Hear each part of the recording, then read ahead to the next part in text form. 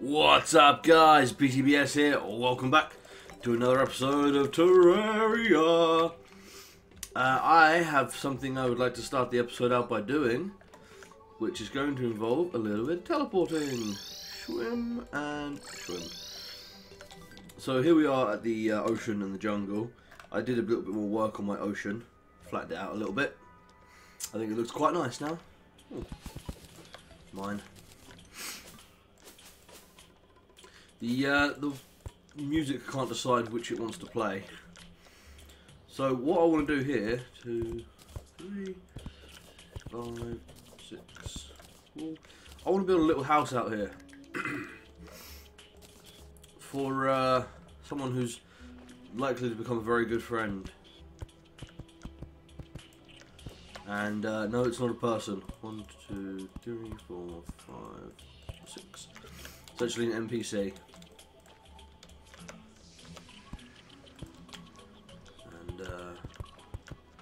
Yes, I'm building this because, um, as you guys might have noticed, a lot of NPCs have specific conditions to sell certain items. Like sometimes they'll only sell it on a blood moon, or only during a certain phase of the moon. Like the steampunker only sells the jetpack during a gibbous moon, I believe, or a waxing moon. And um, I am building this house out here to get this little motherfucker, the witch doctor, to come and live in there. So I'm just gonna leave quickly.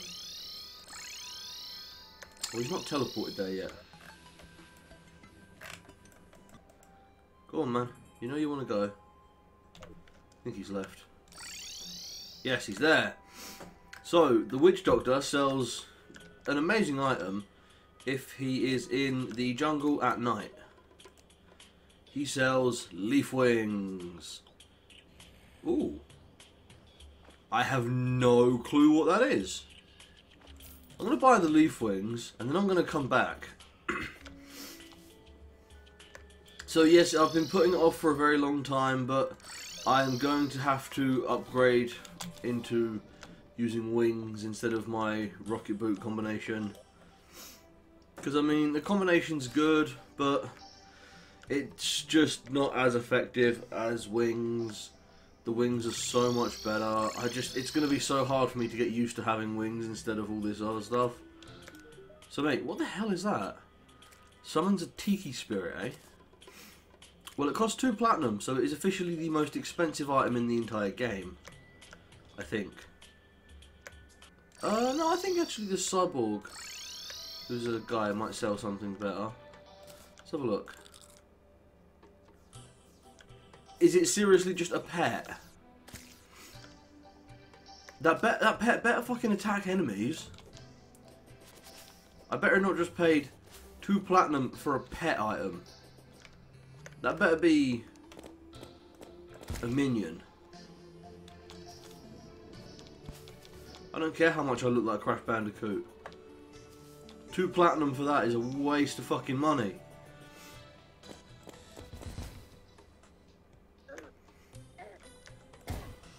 No, you are just... Yeah, friendly Tiki Spirit. God damn it. Oh, fuck you, friendly Tiki Spirit. Oh, let's just put that away. So, um, yes, I've been putting it off for a long time, but the wings. I'm going to need to get a pair of wings, and if I show you what the wings can do, I'm sure you guys will agree they're a lot better than previous. So let me do a comparison, right? Take the wings off. So I've got my Frost Spark and my balloon. And this is as high as I can possibly get. And now, I mean, I, I can just absolutely switch and take all this off and then just put my wings on. And my wings can already take me like three times as high. And you don't take full damage with them. But if I combine my wings with my balloon I can get a lot higher. I think these are good wings. I'm I, I've been looking on the wiki quite a bit to decide which wings to get because I was just like, oh, if I've got to switch my wings, I'm going to switch to the best pair I can. And I'm pretty sure these are some of the best wings because of how high they let you go. But I can't be 100% because obviously I've never really played with wings before. Let's see about going from the bottom here. Okay, so they take me all the way up to the silt room from the floor. So, yeah, you got to assume that's pretty fucking good. Now I just have to get used to using them. And, I mean, what am I getting rid of? My idea, well, the thing is, I don't want to be using three movement items. So I was thinking I've probably got to get rid of the balloon or the frost spark boots. But the frost spark allow me to sprint, which is sort of invaluable. So I should really keep those. But then the balloon gives me extra height on my wings. If I take the balloon off, I can only jump so high and so fast. See, the moon just about disappeared. But if I have my wing, if I have my balloon and my wings, I can go a lot higher. Uh, it's really hard to make the damn choice.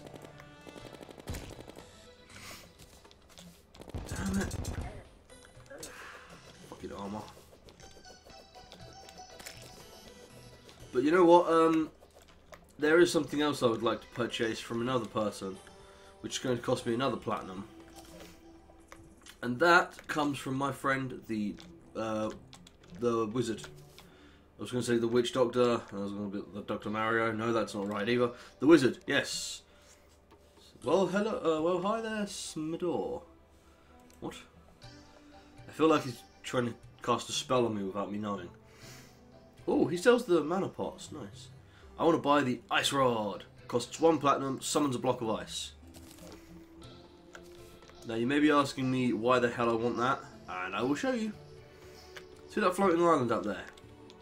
Even with the balloon combination, we can never get up there. We're not that far off, to be fair.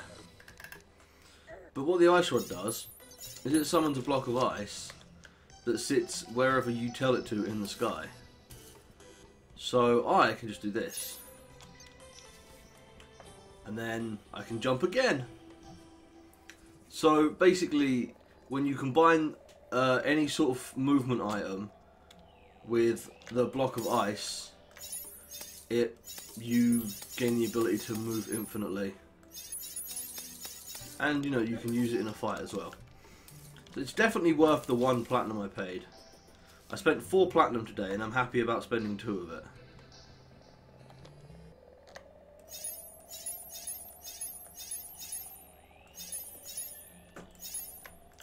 Just put one underneath yourself. They do break after a while, by the way. So you don't even have to worry about cleaning them up. Yeah, this basically means I can just piss around, flying to the top of the world, floating around. Oh, wyvern. Cool. I actually wanted to fight some wyverns.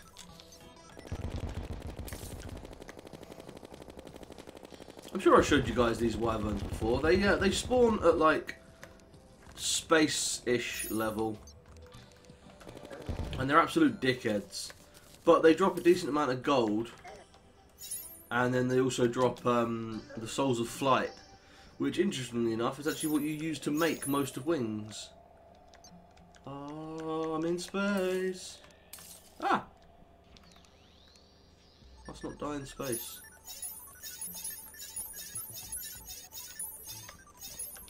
There we go. Ah. I'm not used to moving with the wings yet. But there's a second island over here. I will just pick those up. Woo! So, yeah, I'm very glad that I made the wings, but I just... It's going to take me a while to get used to using them. And uh, especially when combined with the ice rod. They basically make the ultimate movement item. And I mean, right now, money is really not an issue for me, so it's uh, actually kind of cheap. Hey, look, ice in the sky. Sorry, I'm really enjoying playing with my wings now. So yes, I've got some other stuff to cover as well. Um, let's see. Uh, beat the other boss. You guys saw that. Um, awful lot of money coming in nowadays. Uh, me, Seraph, and Metal Mosher have, uh, in varying groups, been fighting and killing multiple mechanical worms. I believe me and Seraph killed 35 of them last night, and me and Metal Mosher killed 30 of them the other day. And uh, I'm not actually even selling their drops. I've been keeping, I've been keeping the Souls of Flight because they're the important drops. They're the ones that are worth the real money. And then I've got some hallowed bars left over. I really don't need to. I mean, if you take a look at one of these souls, they are basically worthless. Basically useless. You use them to craft the five keys, the Mega Shark, and the light disc. And I actually want to make some light discs. They're pretty cool. But yeah, basically you need five for each one of these, so like 25, 20 for that, and five, so you want another 20 for that.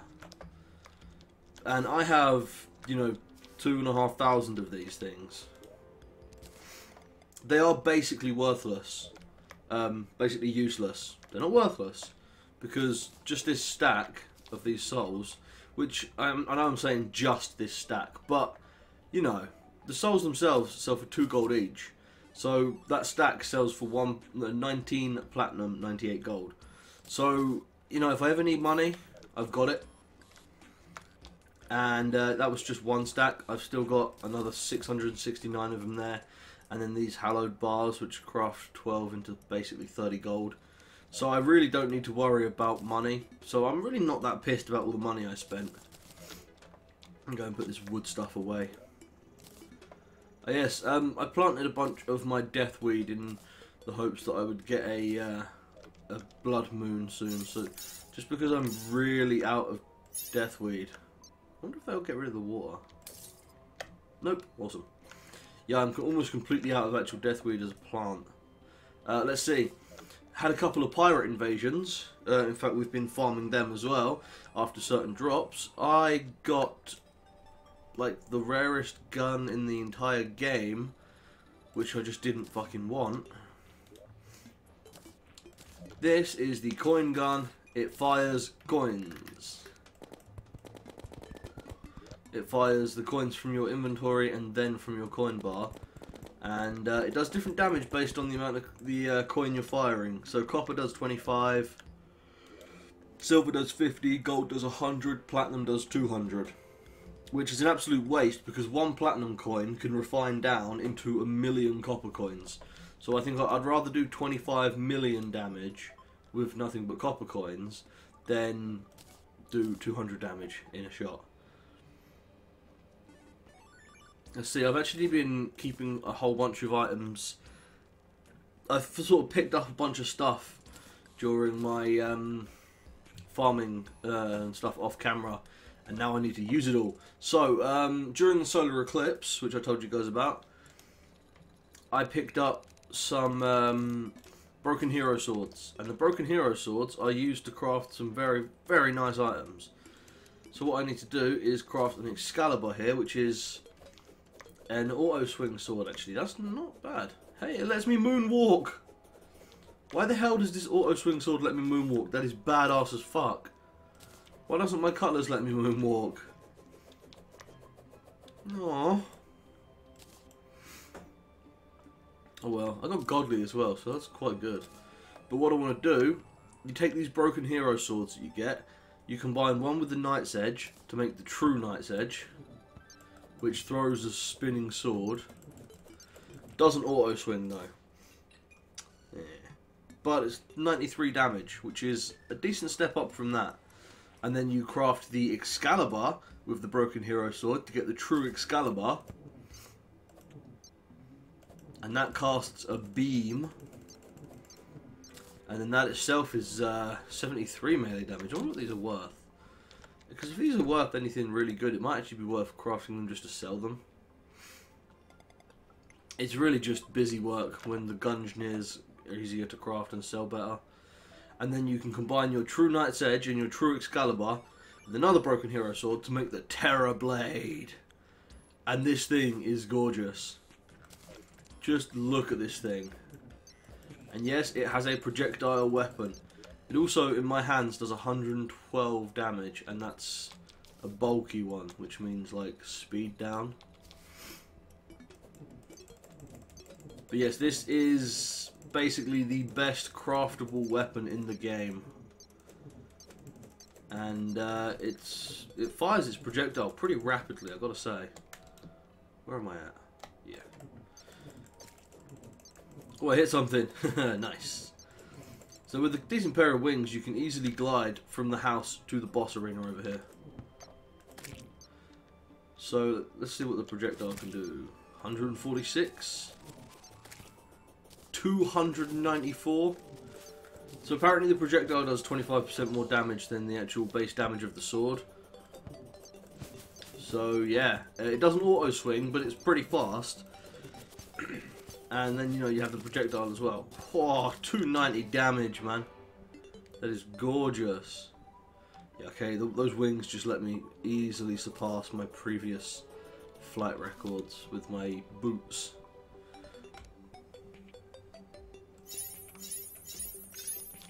Whee! So yes, I definitely wanted to craft that. I've been waiting for a while to craft that actually. Shwing, shwing, shwing, shwing. I don't know if I'm actually going to use it though. Because it's nice and all, but it's going to cost me an awful lot of money to reforge. And I mean, I'm not talking, you know, a lot of money for normal people. I'm talking a lot of money for me. 58 gold, so that is half a platinum just to reforge it. And with my luck, I'll have to reforge it at least 10 times. So it's going to cost me probably like 5 to 10 platinum to get that to legendary. And that's expensive. That's expensive as hell. Uh, I've also collected a whole bunch of random stuff. Um, like these ice feathers, which drop from the ice golems during um, blizzards, are very cool. They um, they, they make a pair of wings as well, as do these broken bat wings. Uh, I got the rare drop from the uh, Eye of Cthulhu, which is really nice actually. It's a pair of binoculars, and you can look off screen with them. All you have to do is have them in your hand. If you just follow my pointer, it's on the guide, it's going away, and it just the screen tracks to your pointer, more or less which allows you to look around. I mean, this could be very useful when mining, actually, if you had, like, a, um, a potion, a Spelunker potion, then you could uh, very, very easily look around and find more stuff quicker and easier.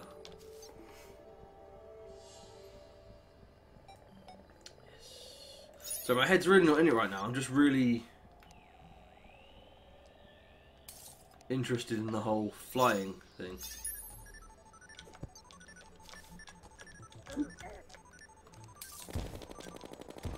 I actually want to kill some more um, of them guys. Who are they? The wyverns. I want to kill some more wyverns.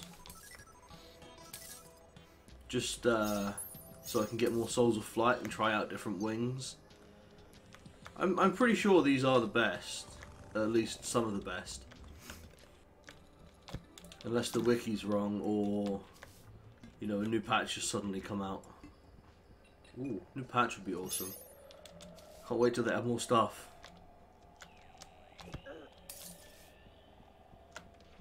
So I, what I might do is actually go around and just explore the entire sky of my map. Just be like, oh yeah, I know, I know the sky. I know every square inch of the sky. And it wouldn't even be that hard. Especially once you're up in space. What I like about space is it's got low gravity. So you don't fall as much, so you can easily explore it.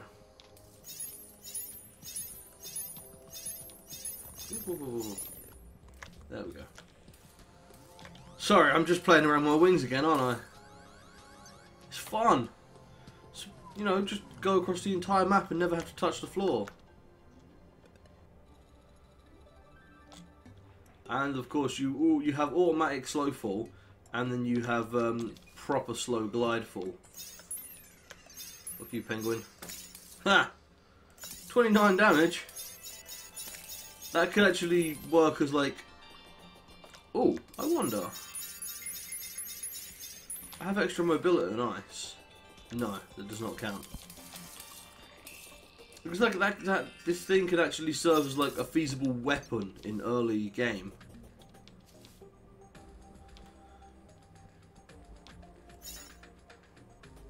Yeah, icy floor. So there's a lot more uh, graveyards, a lot more graves appearing in the graveyard now. Let's have a look. His flailing butt was finally stopped by eye laser. That would be from the laser. Seraph died from flaming arrow. Metal Mosher Watch's in has become outed by a cannonball. Face torn off by a laser. Chopped up by a bullet. Everyone done fucked up, son. nice. Uh, respawn in 10987. oh, I imagine that was Metal Mosher's. He's quite, he, likes his, uh, his respawning joke. Oh, look, I can fly from the floor all the way up to my house, like up to my roof. This is awesome. Hey, I must have killed some harpies above my base. So, uh, yes, the actual, the real reason. Real reason? No. The real thing I wanted to do in today's episode was uh, go to the jungle and um, mine up some new ore. I'm going to take some spelunkers and some shine potions. Get off the rope. Need those. And to get to the jungle, we just teleport twice. Hey, Witch Doctor! Witch Doctor, look! I'm using those wings you sold me! Which you totally won't even admit that you sold me. Look, see? Man, I love those wings. I, I must say, I'm already really liking these wings. So, buff, we have a Shine Potion and Spelunker Potions, and we need to go digging in the hard, hard mode jungle. So once you hit hard mode, you get all the new enemies and stuff, but the jungle actually changes again once you beat your first hard mode boss. Oh, Mimic. Oh, Philosopher's Stone, nice. They're really good for making money. So, uh, yeah, I generally just, when I'm travelling, use my sword now because it gives off light and it's super cool. But that's the reason I actually started bringing these extra potions with me. Ah, yes, there we go. Here is the new ore we've been looking for. You need a hallowed pickaxe or better to mine it. So that's why it appears once you beat the first boss, because once you beat the first hard mode boss, you can actually um, create a hallowed pick, which is the first thing that can mine this ore. And this ore is extremely cool. It takes six uh, chunks of ore to actually make a bar of it, which uh, may seem a little excessive. But yes, it is chlorophyte ore, and we're going to need probably 6,000 of it. But I wanted to show you guys this so that um, I could actually because I don't like doing stuff for the first time off camera, as you guys know. So I wait until I show something on camera before I can go off and do it on my own. Which annoys the fuck out of uh, Metal Mosher and Seraph. Because they're like, oh, let's beat this boss. I haven't done it on camera yet. But yes, um, I've been waiting to mine this stuff for a very long time especially seeing as uh, you know I beat my first hard mode boss a good long time ago, and that was the old Destroyer, and I've been able to mine this stuff ever since I defeated him. But I wanted to do this stuff roughly in order using different tiers of armor. I could have gone straight to this chlorophyte stuff and made this armor, like as soon as I beat the first boss, and then basically half of hard mode would have become easy mode because I had this armor that early on. So this thing here, by the way, this pink thing, is actually a boss summon item, much like the um, the things that exist. Uh, what are they called? The pulsating hearts and shadow orbs. But this summons uh, a boss called Plantera, and it, it's probably going to be a couple of episodes and a couple of uh, friends with me before I try and fight Plantera. Because that bitch be hard. But I do need to beat her. For more than one reason. Oof, look at this, it's just ore everywhere in this jungle. It's so nice. Spelunker Potion combined with the old uh, Shine Potion. It's just lovely because you can see where you're mining. Oh, this is a life fruit tree.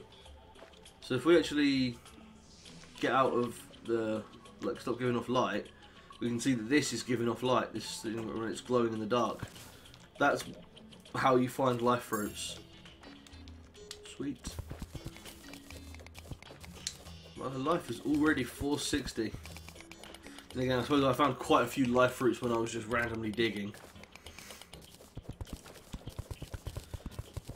So yes, the chlorophyte is what we're after here, and um, it if you get lucky, it grows in massive chunks. Like I found like 200 ore next to each other, just because it I got really lucky and it sort of grew in that sort of pattern. Ah, hornets! I'm scratching my back. Damn you, hornets! Oh, I feel so powerful now that I can just fly.